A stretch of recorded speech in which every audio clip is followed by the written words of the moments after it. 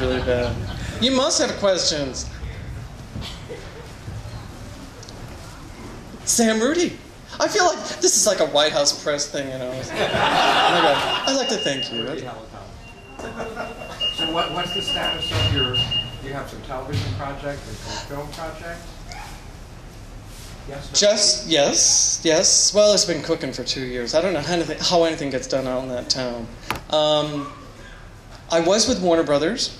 Charlie Sheen was going to produce the TV series, um, and we realized in the nth hour, and Jim Halterman can understand this side of the business. We all realized it was not the right fit. It, was. It's a good thing that we parted. So just weeks before the strike, Showtime called they had gotten a one pitch for the TV show and then said, get the book to us ASAP. Oh, they said that. Um, and then the strike happened, so I cannot speak to them during the strike. So just cross your fingers and your eyes and your legs and, and hope, hope. I, I think, you know, when I finished the first book, I truly felt that this was a beautiful blueprint, blueprint for a TV series, so I'm still hoping. How do you think the book made the transition from, from being a gay book to a relationship book? I think people, well, for example, I got an email recently from a grandmother in New England, and she's, she said she was straight. A gay friend of hers had read it and loved it, and she gave it to her gay son. I've gotten an email from a woman out in Ohio who is a single mom with two kids. She's dating. She said, I dated all of these men. Um, it's just that they happen to be straight. So I think, I think people really do see that it's crossed, you know, those lines. Mary Lou? Hi. Um, was, I loved your character, Dr. Magda, and um, was of course disappointed in her demise. But, well, you did sort of. La, la, la, la, la, la. I'm sorry. anyway, um, I was wondering about her sister showing up. Was her sister in any way the same kind of thing, type of person? Uh, Petra, Petra, yeah, Petra, you know, as tall as Magda was. I mean, Magda was like if if if Bea Arthur had sex with Maria von Trapp, that would be like like her love their love child. And she was I don't know if you remember like in On Picking Fruit, Curtis was like obsessed with her, thinking, I really think she's a man, and like Yeah. like if like could I fit in her shoe? Could I fit like two feet in her shoe? If my is my cheek big enough to hit to fit her hand if she slapped me across the face? Of course, he's thinking this while he's in therapy.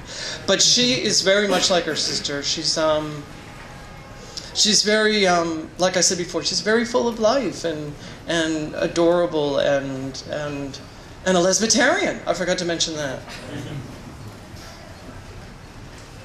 How long did it take you to write the second book? How long? Yeah. Oh, I mentioned this on the show yesterday. I'm embarrassed. Um, I think it took three and a half weeks. But you know, I, I write pretty fast when it happens. But also, um, my editor, has he shown up yet? my editor, who isn't here um, for my book launch, um, he asked if I would do an outline.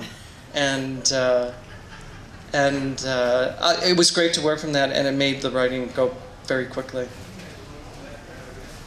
Bobby Rivers. Did you have a literary agent when you were working on the first book? And if you didn't, how long did it take you to get one, if you have one? No, I did it all on my own. You may not, you, you might not know this, but I originally published on Picking Fruit um, myself, and Alyson found it two months later. In fact, it was the advocate's office where uh, it was sitting in a dump box, and you know we're all owned by the same company, Planet Out, and uh, my editor, uh, my marketing person at Alyson had gone down and seen the book in the dump pile, and he asked them, "What is this?" And they said, "Uh, it's something self-published. You can have it." And uh, two hours later, they called me and offered me the multiple book deal. So no, I did everything with theatrical lawyers. Thank you for our lawyers. Um, and I've continued not to work with an agent. I decided, you know, I think things are changing, so I'm keeping control. Ideal fantasy, who would play first? You know who I'd like? I'd like Paul Rudd. You know, he's, he's, he's, he's handsome, but he's not intimidating. I'd, I'd, I'd like Paul Rudd.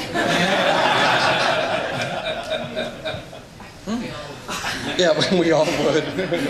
uh, who else came up? Jason Bateman came up. Uh, Charlie talked about doing it, and mm. um, and there was uh, one other person, but I think Paul Rudd would be really great. And we've been actually courting Ann-Margret as the mother.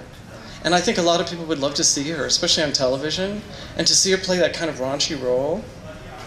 And she is. She's a nice woman. Gosh, look at all these faces. Thank you so much. Um, if that's it for questions, Sylvia Towson, singer extraordinaire. No, I, I've been plugging everybody. So um, if that was um, so we can we can sign books now. If some of you don't know how this works, you know, you just grab a book and and I can sign it, and then you have to pay for it on the way out. That's how it works out. But thank you very much.